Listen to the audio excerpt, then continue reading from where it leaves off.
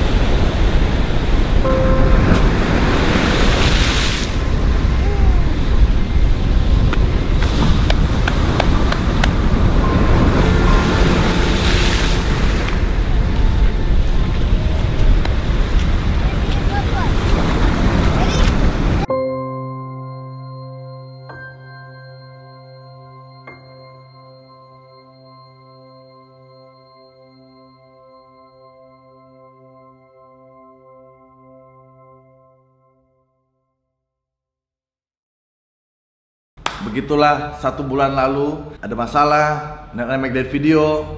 Sekarang ini I'm through all of that gitu. Uh, gue udah gak mikirin masalah itu lagi.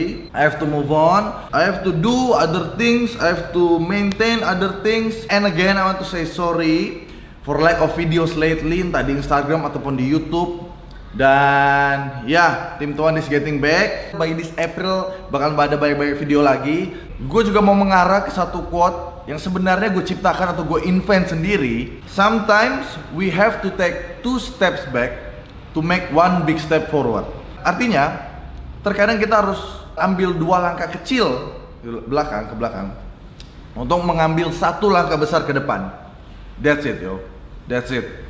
This April, tim Tuan is coming back. I am getting back, making videos. Tetap semangat guys, tetap nonton video tim Tuan. Oke okay, then, it's done. Dah. Cheers.